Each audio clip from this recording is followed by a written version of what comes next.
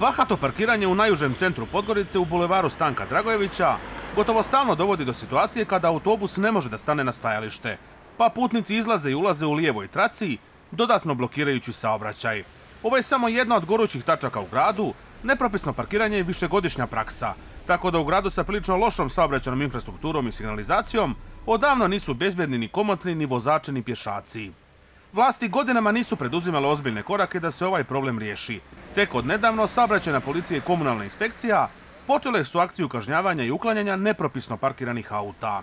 Unazad, evo 15 dana opet ponavljam, radimo baš dobro i veliki je broj sankcionisanih vozača i nastavit će se ta akcija u buduće na iste lokacije koje su problematične. Prioritet su bulevari Đorđa Vašingtona i Stanka Dragojevića, ulice Ivana Crnevića, Slobode, Moskovska, Ljubomira Rašovića, Pera Četkovića i Radosava Burića. Ali vožnjom po gradu svuda možemo vidjeti ostavljena auta na cesti. Recimo u ulici Marka Miljanova, zatim u samom centru ulici Balšića, o parkiranim autima u kružnom toku kod spomenika Svetom Petru Cetinskom da ne govorimo. U komunalnoj inspekciji kažu da paukom podignu dnevno oko 30 vozila, da su u septembru napisali 840 kazni za parkiranje, te da su aktivni po cijelom gradu. Plan je da čitavi grad očistimo od ovoga komunalnog nereda. Svako sedmično povećavamo te prioritete.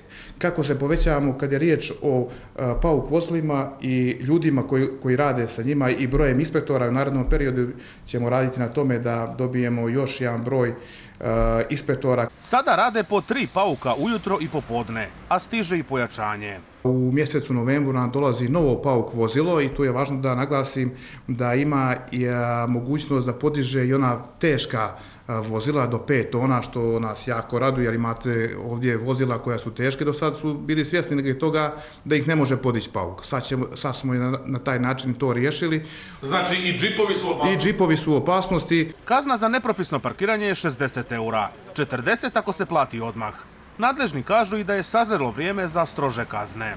Moj predlog je da se te kazne povećaju. Radimo na tome, vrlo brzo ćemo uputiti naš predlog prema institucijama koje treba to da izglasaju i da to bude u primjeni. Kad bude to u primjeni, siguran sam da će te biti kazne mnogo ostruko veće. Slažem se, treba kazne povećati, da ljudi kad ga jednom kaznimo za nešto što je napravio, više neće ostaviti vozilo na toj poziciji.